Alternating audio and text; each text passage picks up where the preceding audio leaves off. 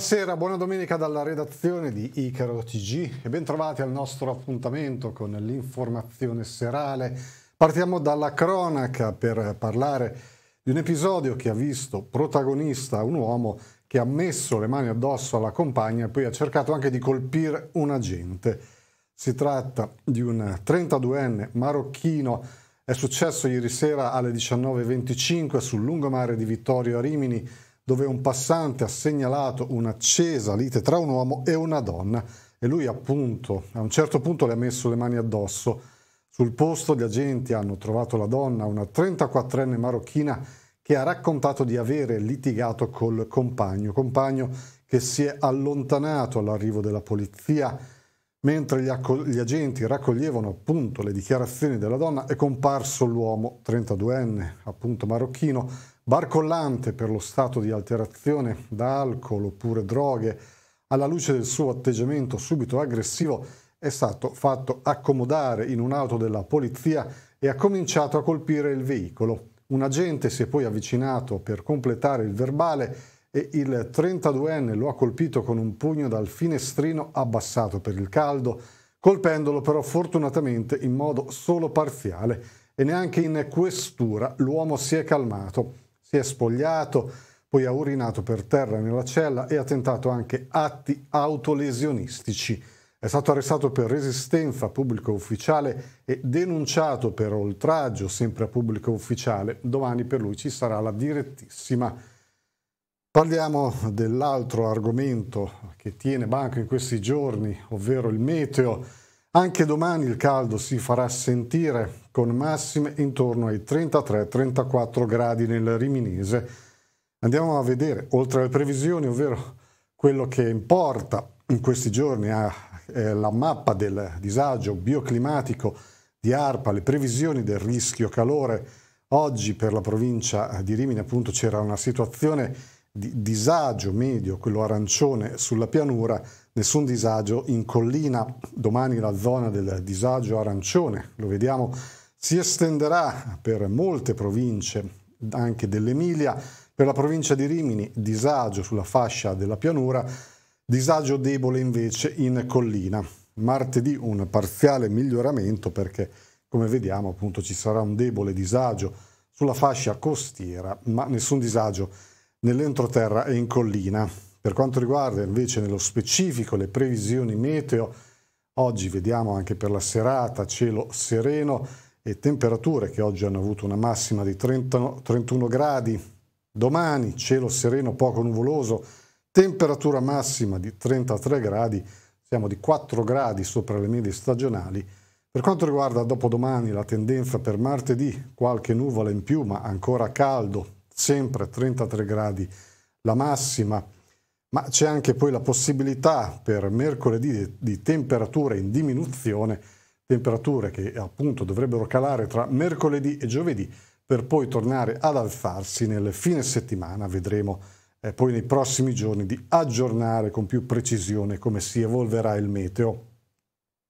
La polemica che ha investito ancora una volta il sindaco di Pennabilli Mauro Giannini. Anche oggi arrivano ferme prese di posizione contro l'ultima iniziativa del sindaco di Pennabilli che nella convocazione del Consiglio Comunale del prossimo martedì ha inserito un ordine del giorno dal titolo Disapprovazione dell'accoglienza di profughi di qualsiasi nazionalità, razza e religione nel comune di Pennabilli e che Giannini non fosse favorevole all'ingresso di profughi nel suo comune già si sapeva.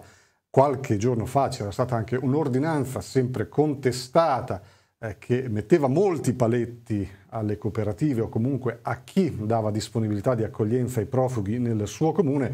Ora questo ordine del giorno che ha suscitato polemiche in particolare per l'uso del termine razza in questo documento ufficiale. Ieri c'era stata la ferma condanna del sindaco di Rimini nonché presidente della provincia Jamil Sadegolvad e anche del PD della Valmarecchia. Oggi arriva l'intervento del senatore riminese del Movimento 5 Stelle, Marco Croatti, che dice la nostra Costituzione si basa sui principi di democrazia, libertà, eguaglianza e pluralismo. non sembrano i principi che guidano il sindaco di Pennabilli e chiede Croatti l'intervento urgente del prefetto. Non si tratta di semplici provocazioni o di uscite per attirare l'attenzione, serve responsabilità e rispetto per un ruolo importante come quello di rappresentare una comunità di cittadini. Interviene anche l'ANPI provinciale di Rimini per voce di Anna Rita Tonini, che è presidente del comitato provinciale. A questo punto dice, dopo aver fermamente condannato le nuove affermazioni del sindaco Guerra, riteniamo che di fronte alle sue del sindaco, scusate, Giannini, a questo punto riteniamo che di fronte alle sue aberranti quanto puerili esternazioni, prima ancora che la condanna serva a contrapporre indifferenza e silenzio. Il sospetto è che commentando ulteriormente uscite così palesemente fuori dalla grazia di Dio si dia fin troppa visibilità a un individuo che continua a propagandare idee inaccettabili sul piano umano come su quello politico, dannose per qualunque comunità. E c'è stata anche una mobilitazione annunciata sempre per martedì sera davanti alla sala del Consiglio Comunale di Pennabilli, Torniamo a parlare di cronaca. Teneva d'occhio le coppiette appartate in spiaggia in piena notte per mirare ai loro effetti personali, ma a sua volta i carabinieri in borghese impegnati nei controlli a Marina Centro tenevano d'occhio lui, un 22enne tunisino residente a Palermo, ma in questo periodo di stanza in un albergo riminese, ha approfittato del bagno notturno di una coppia per frugare nella borsetta di lei, cercando di estrarre il portafogli ma è stato subito bloccato dai militari. Vistosi scoperto, ha lasciato cadere la borsa sulla sabbia, ma non è servito a niente. È stato arrestato per furto aggravato. È successo la scorsa notte, appunto intorno alle 3.30, sulla spiaggia del lungomare Tintori. Per il tunisino domani ci sarà la direttissima. Parliamo di Gradara, andiamo a sconfinare nelle Marche ma per un evento che era atteso da diversi anni, soprattutto per lo stop causato dalla pandemia. Ieri sera Gradara è tornata a compiere il suo viaggio indietro nel tempo fino al 1446. L'assedio al castello ha visto protagonista un esercito di oltre 200 rievocatori tra armigeri e cavalieri in armatura. L'assedio che ripropone appunto lo scontro del 1446 tra gli eserciti degli Sforza e dei Montefeltro contro Gradara e c'è stato il consueto finale pirotecnico che ha affascinato il pubblico. Vediamo.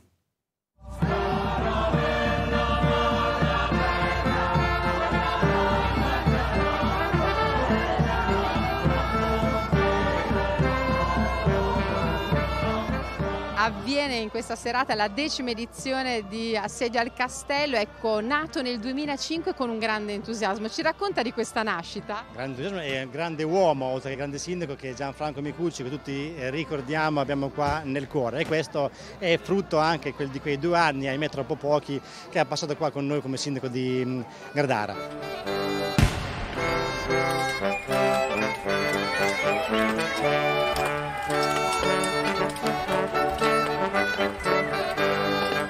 Nasce nel 2005, il sindaco Franco Bicucci mi manda all'epoca spedizione a Carcassonne in Francia per vedere come facevano i fuochi nel castello bellissimo di Carcassonne.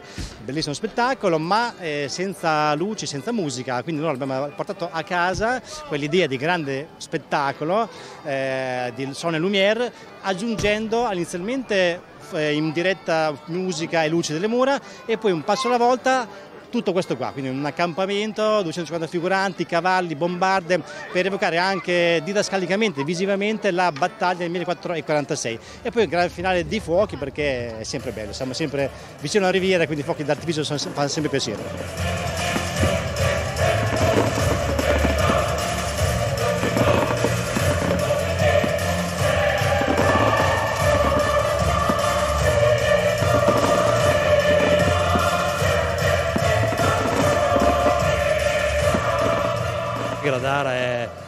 Eh, luogo veramente magico, straordinario, che credo eh, al di là delle presenze debba essere sempre di più promosso perché già hanno dei risultati, dei numeri molto importanti, ma può essere veramente un grande attrattore per la riviera adriatica.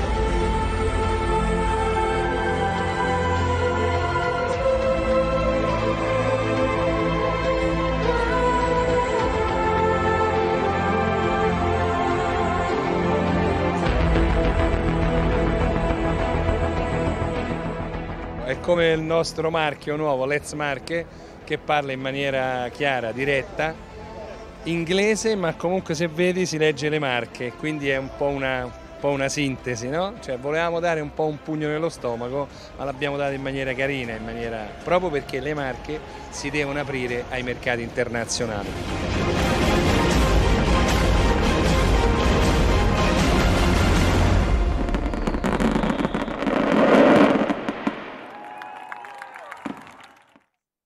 Andiamo a Viserba dove c'è una denuncia sul degrado del giardino davanti alla stazione, il parco Pirzio Biroli Luigi in viale Curiel. A lamentare la situazione di degrado e abbandono è in particolare Francesca Gorini di Fratelli d'Italia di Rimini che ha documentato appunto la situazione del parco, materassi, coperte, bottiglie di alcolici abbandonate, panchine rotte, rifiuti sparsi, escrementi umani e perfino un barbecue con tutto il necessario per l'uso, che rendono impossibile la fruizione dell'area ai cittadini, oltre a rappresentare un concreto pericolo per la sicurezza, l'ordine pubblico e per la salute pubblica. Segnalazioni sono arrivate anche riguardo a una famiglia che ogni estate viene vista soggiornare, tra virgolette, per un periodo di vacanza, sempre in questo parco, utilizzando la fontana pubblica per l'igiene personale e i cespugli come toilette. E quindi da Francesca Gorini una sollecitazione a un rapido intervento per riqualificare l'area destinata a parco pubblico, nonché un costante monitoraggio e controllo della zona affinché non prevalga la condizione di abbandono. A Riccione invece All'indomani dell'ultimo saluto ad Attilio Cenni, l'imprenditore scomparso nei giorni scorsi e figlio di Biagio Cenni, ex sindaco di Riccione, arriva da Edmo Vandi, memoria storica della Perla Verde, la proposta di intitolare a padre e figlio il Parco della Resistenza. Proprio Biagio Cenni, ricorda Edmo Vandi, fu il creatore del Parco della Resistenza dopo una visita insieme a Edmo Vandi all'Englishken Garten di Monaco di Baviera e c'era anche appunto da parte di Attilio il sogno di dedicare un segno di riconoscenza da parte della città al padre. Questo potrebbe avvenire appunto intitolando il Parco della Resistenza. Parco Biagio e Attilio Cenni. Confido nella sensibilità dei riccionesi che nella mia quasi secolare esperienza non è mai venuta meno, conclude Edmo Vandi. Torniamo a parlare dei campionati giovanili di vela che si sono svolti nei giorni scorsi nelle acque di Rimini organizzati dal club nautico. C'è anche una bella storia di solidarietà dietro l'oro dell'undicenne ucraino Sviatoslav Jasnolobov, portacolori appunto del club nautico di Rimini che durante la cerimonia di premiazione ha fatto risuonare in piazzale Boscovic le note dell'inno del suo paese martoriato dalla guerra. Vediamo. Il velista proviene dall'Ucraina, il suo nome è Sviatoslav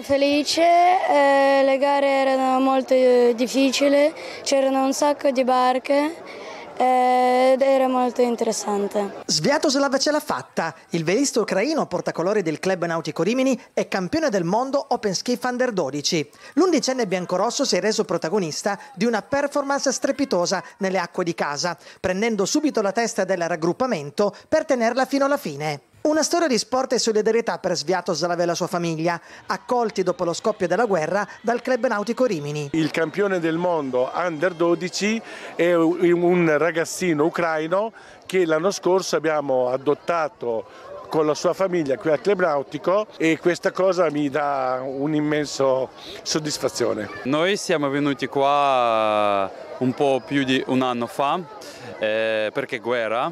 Eh, eh, sì, lui è cresciuto, il mio figlio è cresciuto qua a Rimini eh, come velista eh, e mi piace questo.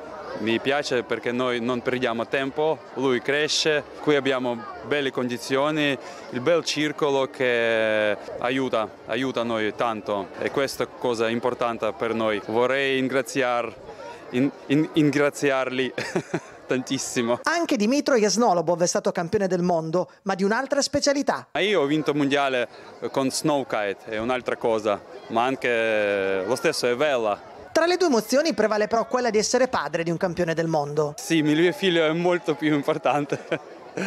sì, io adesso sono felicis felicissimo.